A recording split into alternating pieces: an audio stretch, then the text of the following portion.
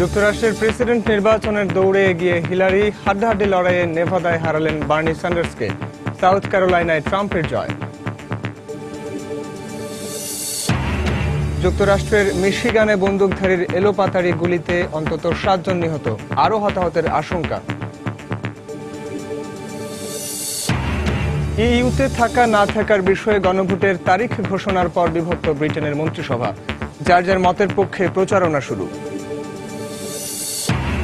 President আসাদের যুদ্ধবিরতি মেনে নেয়ার ঘোষণার কয়েক ঘণ্টা পর সিরিয়ার হোমসে দুটি গাড়ি বোমা হামলায় নিহত অর্ধশত, দায় স্বীকার করেনি কেউ।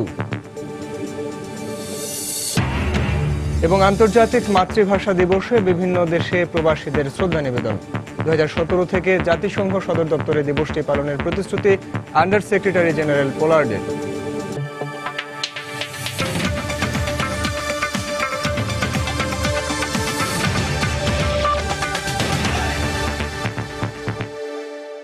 আন্তর্জাতিক সময় সঙ্গে আছে আমি সাইফুল রুদ্র। যুক্তরাষ্ট্রের প্রেসিডেন্ট নির্বাচনে প্রতিনিধি বাছের ভোটাভুটিতে সাউথ ক্যারোলাইনায় ডোনাল্ড ট্রাম্প ও নেভাদায় হিলারি ক্লিন্টন জয় পেয়েছেন।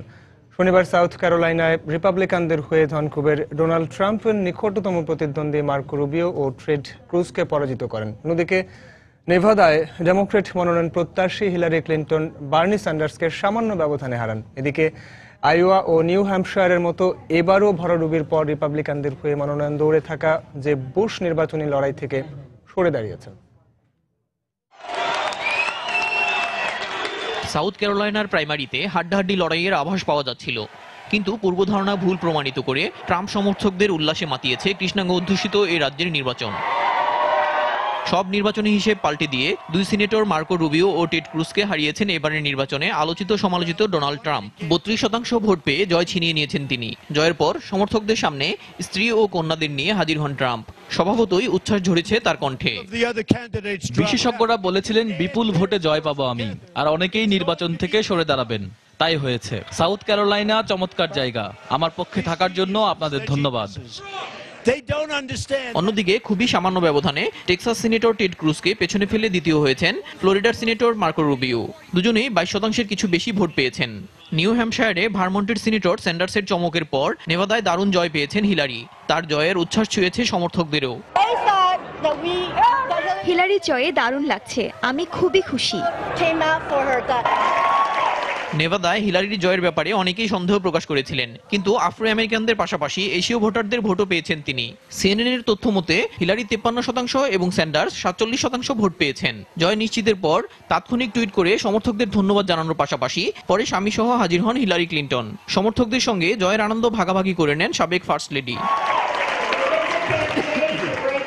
আমি খুবই রোমাঞ্চিত। যারা আমাকে সমর্থন দিয়েছেন, সবাইকে ধন্যবাদ। স্যান্ডার্স অনেক ভোট পেয়েছেন, তাকে অনেক শুভেচ্ছা। এদিকে রিপাবলিকানদের মনোনয়ন দৌড়ে ইস্তফা দিয়েছেন ফ্লোরিডার সাবেক গভর্নর জেব বুশ। আইওয়া ও নিউ হ্যাম্পশায়ারে ধরাশায়ী হবার পর সাউথ ক্যারোলাইনায়ও ভরাডুবি হয় তার। ইতোমধ্যে অনেক অর্থ খোয়ানো জেব বুশের এই পরিণতি অনেকটা প্রত্যাশিতই বলা যায়।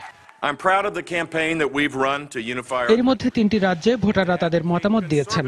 আমাদের দেশের জনগণকে ঐক্যবদ্ধ করতে যে ক্যাম্পেইনে নেমেছিলাম এর জন্য আমি গর্বিত। যারা এখনও প্রতিদ্বন্দ্বিতায় আছেন তাদের জন্য শুভকামনা। আর আমাকে মনোনয়ন লড়াইয়ের সুযোগ দেওয়ার জন্য দলকে ধন্যবাদ।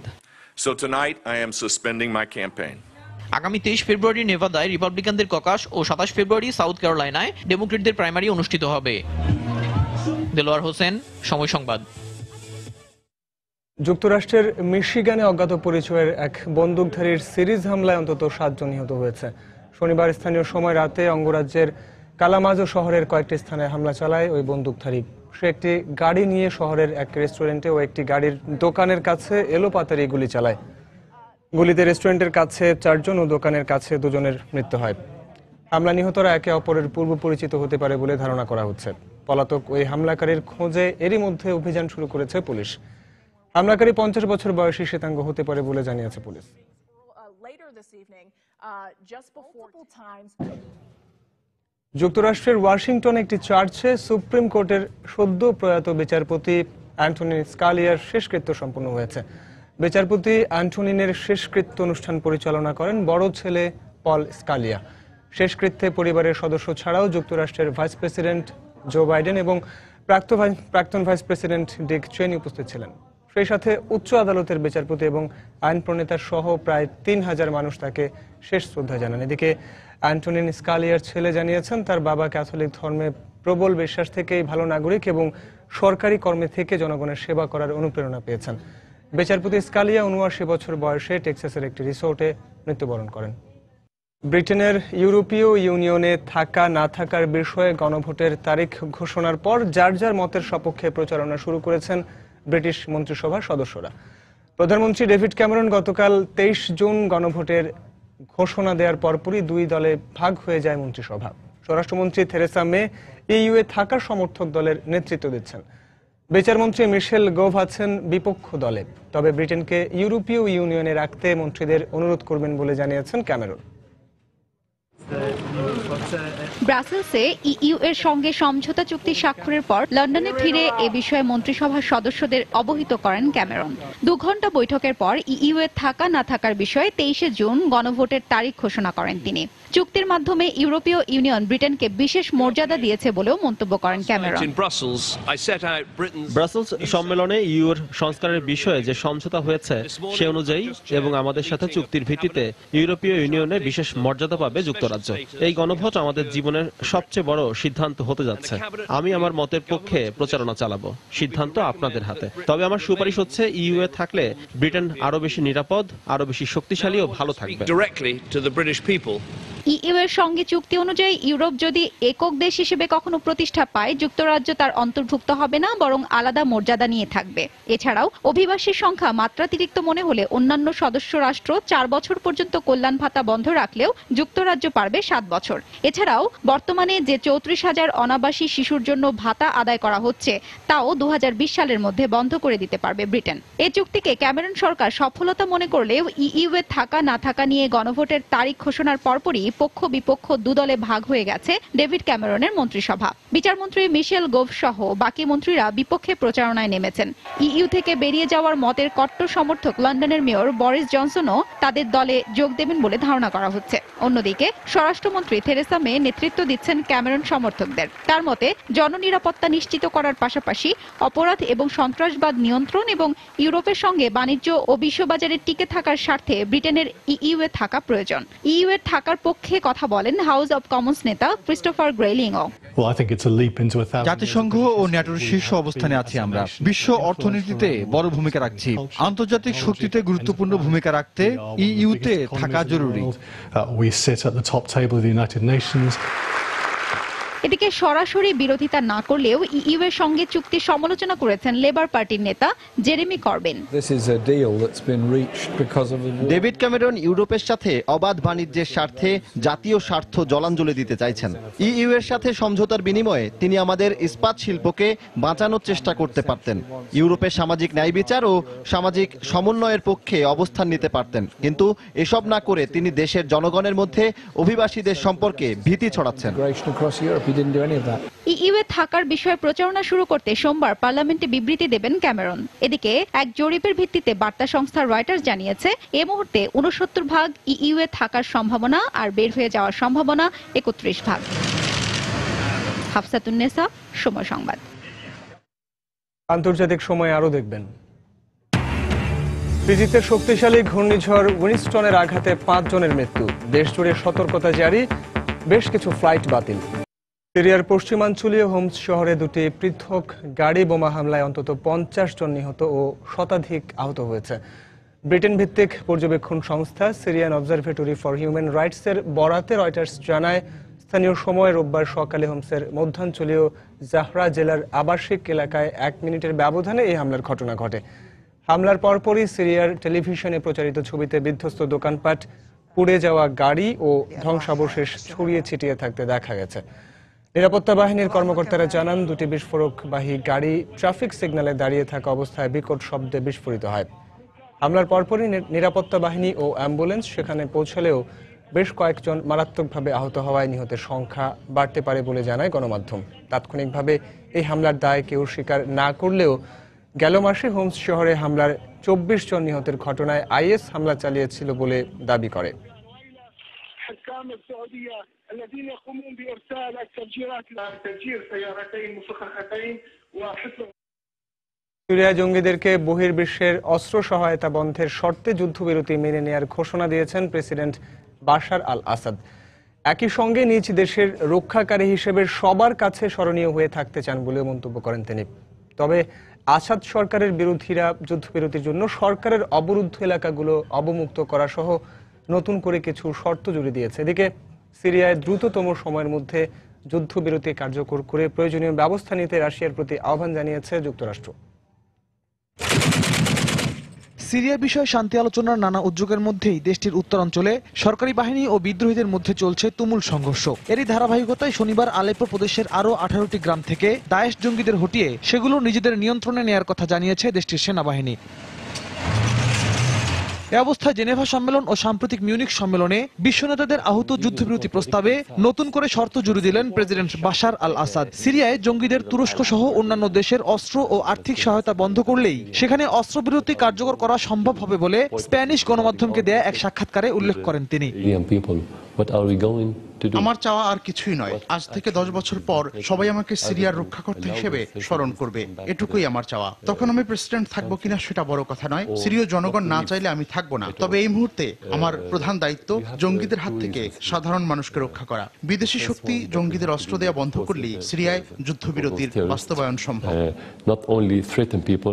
আসাদ বিরোধী পক্ষ শনিবার এক বিবৃতিতে যুদ্ধবিরতির জন্য নতুন কয়েকটি শর্ত জুড়ে দিয়েছে। এ মাসের শুরুতে জেনেভা সম্মেলনে বিমান হামলা বন্ধের দাবিকে প্রাধান্য দিলেও এবার বিভিন্ন শহর থেকে সিরীয় সরকারি বাহিনীর অবরোধ তুলে নেয়ার উপর গুরুত্ব দিয়েছে সৌদি সমর্থিত উচ্চ মধ্যস্থতাকারী পরিষদ এইচএনসি। সেই সঙ্গে দেশব্যাপী ত্রাণ কর্মসূচি জোরদার করা ও বন্দীদের মুক্তি দিলেই কেবল অস্ত্রবিরতিতে যাওয়া সম্ভব বলে জানায় দলটি।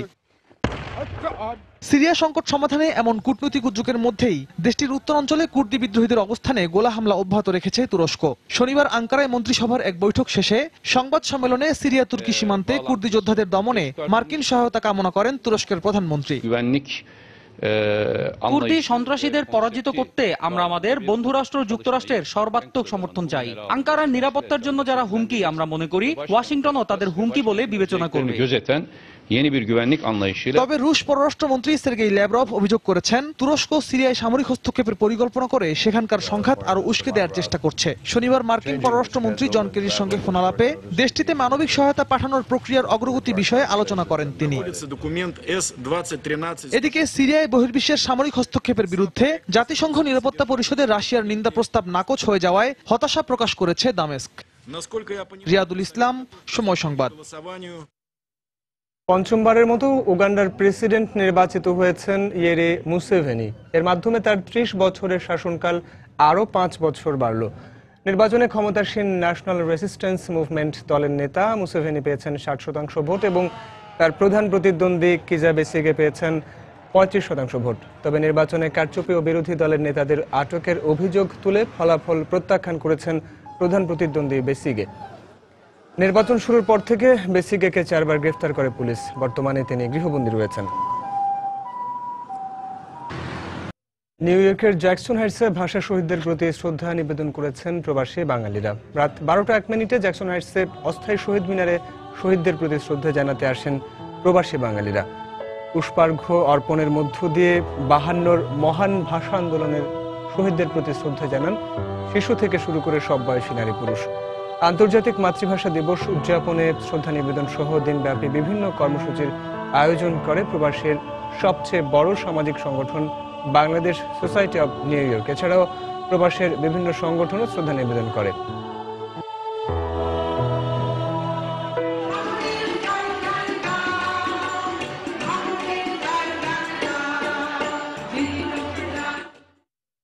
আগামী বছর থেকে জাতিসংঘ সদর দপ্তরের ভেতরেই একুশে ফেব্রুয়ারি উদযাপনের প্রতিশ্রুতি দিয়েছেন জাতিসংঘের বহু ভাষা সংরক্ষণ বিষয়ক under secretary general Catherine Pollard সেই সঙ্গে সদর দপ্তরের আঙিনায় ভাষা শহীদদের স্মরণে শহীদ বেদি তৈরির বিষয়টিও বিবেচনায় আছে বলে জানান তিনি।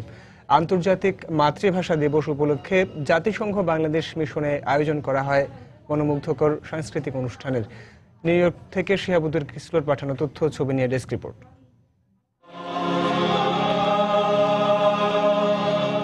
হৃদয় নিংড়ানো ভালোবাসায় এভাবেই ভাষা শহীদদের প্রতি শ্রদ্ধা জানান যুক্তরাষ্ট্র প্রবাসী বাংলাদেশিরা। জাতি ধর্ম বর্ণ নির্বিশেষে সর্বস্তরের মানুষ গভীর শ্রদ্ধার সঙ্গে বাহান্নর বীর শহীদদের স্মরণ করেন।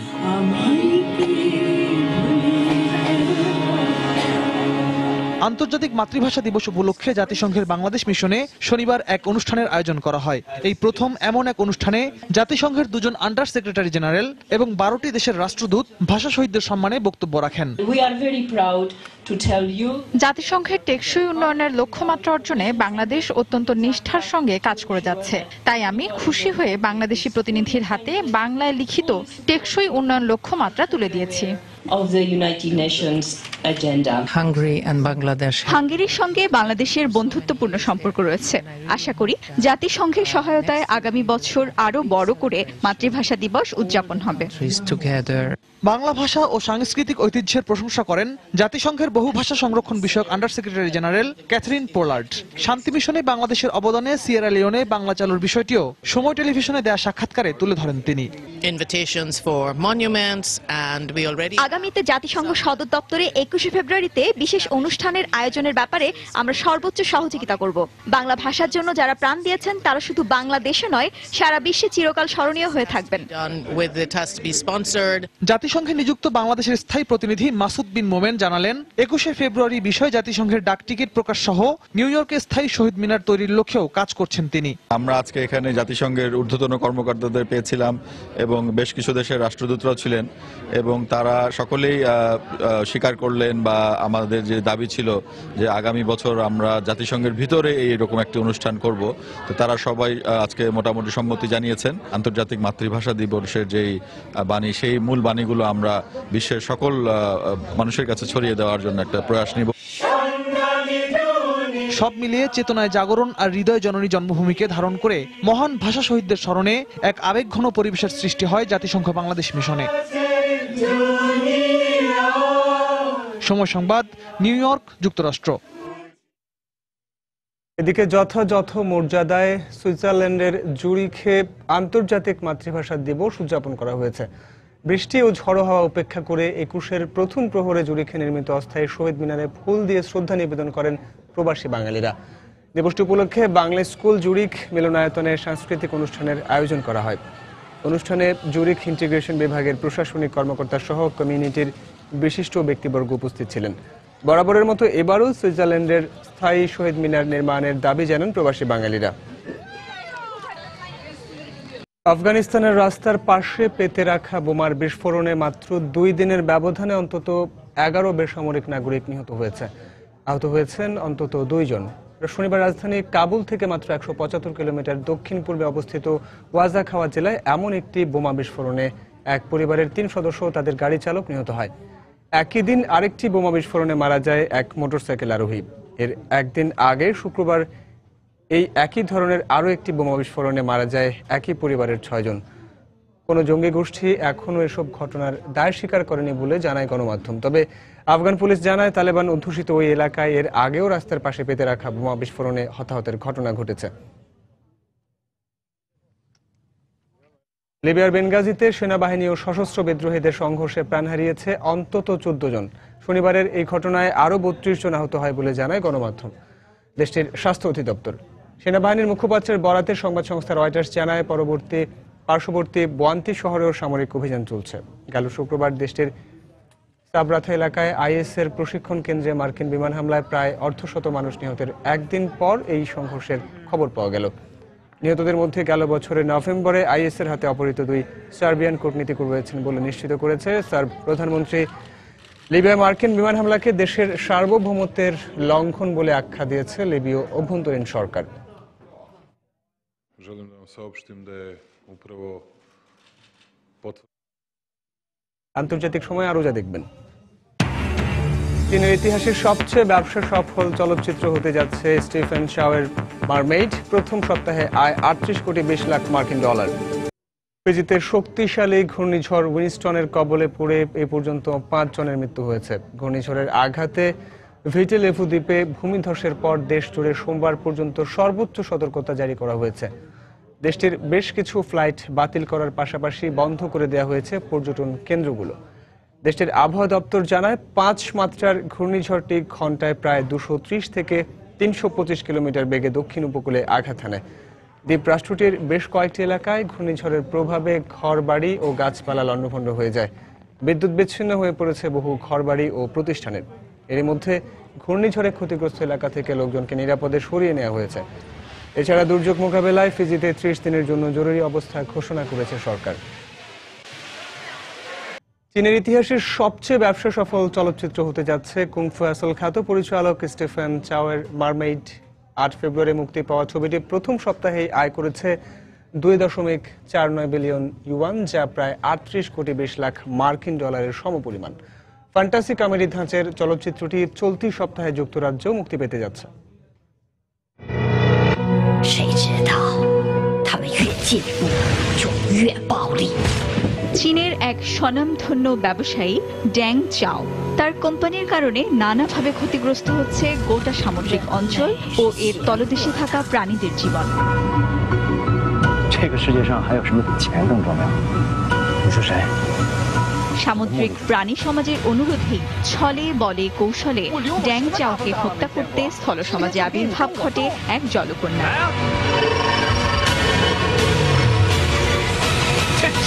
কিন্তু নিয়তির পরিহাস যাকে হত্যা করতে তার আগমন তার সঙ্গেই প্রেমের সম্পর্কে জড়িয়ে পড়ে ওই জলকন্যা। 你是我在这个世界上见过的最美丽、最干净的女孩。 এমনই এক কল্পকাহিনীর আশ্রয়ে নির্মিত চীনা ছবি মারমেড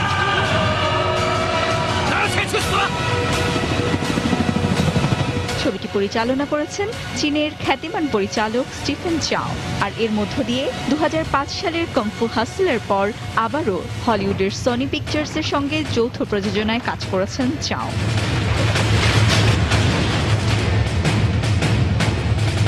চীনে মুক্তির দিনেই বাজিমাত করে কল্পনা ও হাস্যরসাত্মক কাহিনীর সাইফাই ধাঁচের ছবিটি।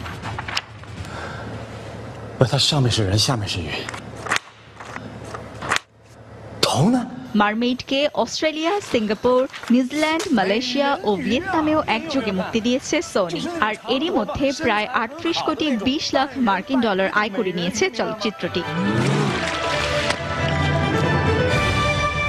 এতে অভিনয় করেছেন চীনা তারকা Deng Chao, Jelly Lin Kitty Zhang Show Lo Tsui Hark Chris উ ও ওয়েং ঝ্যাং সহ অনেকে। চলতি সপ্তাহের শেষ নাগাদ যুক্তরাজ্যেও চলচ্চিত্রটি মুক্তি দেওয়া হবে বলে জানিয়েছে এর পরিচালক ও প্রযোজকরা। সঞ্জিদা ইসলাম, সময় সংবাদ। আন্তর্জাতিক সময়ের শীর্ষ সংবাদগুলো জানিয়ে দিচ্ছি আরও একবার। যুক্তরাষ্ট্রের প্রেসিডেন্ট নির্বাচনের দৌড়ে এগিয়ে হিলারি হাড্ডাহাড্ডি লড়াইয়ে নেভাদায় হারালেন বার্নি স্যান্ডার্সকে, সাউথ ক্যারোলাইনায় ট্রাম্পের জয়। যুক্তরাষ্ট্রের মিশিগানে বন্দুকধারীর এলোপাতারি গুলিতে অন্তত সাতজন নিহত, আরও হতাহতের আশঙ্কা। ইউতে থাকা না থাকার বিষয়ে গণভোটের তারিখ ঘোষণার পর বিভক্ত ব্রিটেনের মন্ত্রিসভা। যার যার মতের পক্ষে প্রচারণা শুরু। প্রেসিডেন্ট আসাদের যুদ্ধবিরতি মেনে নেয়ার ঘোষণার কয়েক ঘণ্টা পর সিরিয়ার হোমসে দুটি গাড়ি বোমা হামলায় নিহত অর্ধশত। দায় স্বীকার করেনি কেউ। এবং আন্তর্জাতিক মাতৃভাষা দিবসে বিভিন্ন দেশে প্রবাসীদের শ্রদ্ধা নিবেদন। দু হাজার সতেরো থেকে জাতিসংঘ সদর দপ্তরে দিবসটি পালনের প্রতিশ্রুতি আন্ডার সেক্রেটারি জেনারেল পোলার্ডের। এ ছিল আন্তর্জাতিক সময় যে কোনো খবর পেতে ভিজিট করুন সময় নিউজ ডট টিভি, সঙ্গে থাকুন সময়।